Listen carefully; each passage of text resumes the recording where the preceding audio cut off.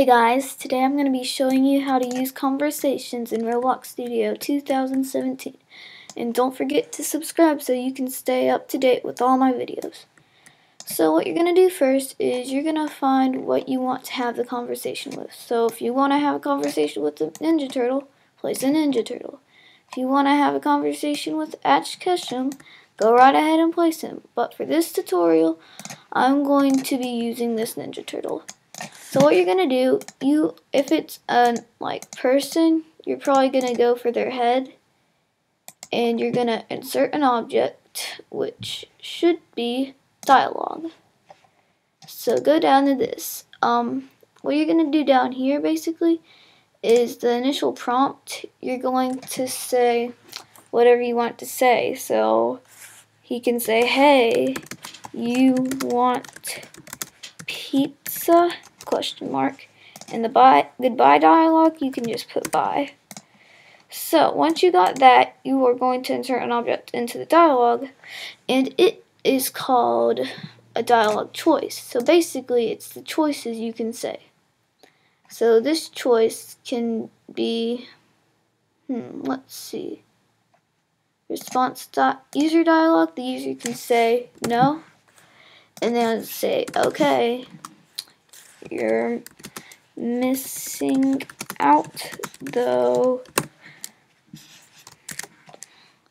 But then we can insert another object, another dialog choice, and this one can say yes.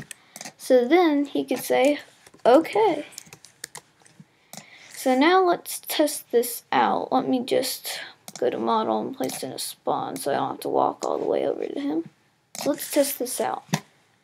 So now, oops, um, one second, this is embarrassing. I forgot to anchor him. Okay, sorry about that. Now we are back. So now he should have this over his head. And you can press that and it'll say, hey, you want pizza? You can say no, yes, or bye. So let's test out. If you say yes, he'll say, okay, like we told him to. So now, if we walk away and then try again, we can say no, and he'll say, okay, you're missing out though, just like we told him to. So basically, that is how you can do it. You can make it more advanced though and add lots of stuff and yeah, some people can even make stores by doing that. And also what you can do for the dialogue you can like edit it and make their tone different, like friendly or enemy, but since he's being friendly about, we'll just do that. And you can change it to shop, quest, or help, and probably quest since he's, well, giving us a question, or I don't know. Well, yeah, I don't know. But anyway, you can change that and do whatever you'd like.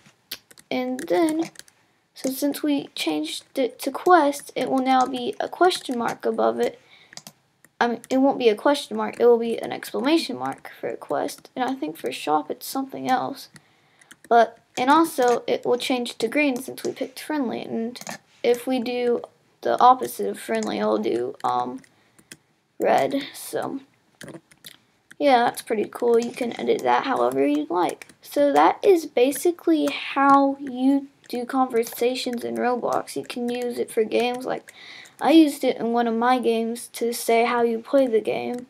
It's basically a little clone of me that had that over it, but yeah. You can use this for your games and it is really helpful. So comment what you'd like to see next and don't forget to like and subscribe. Bye!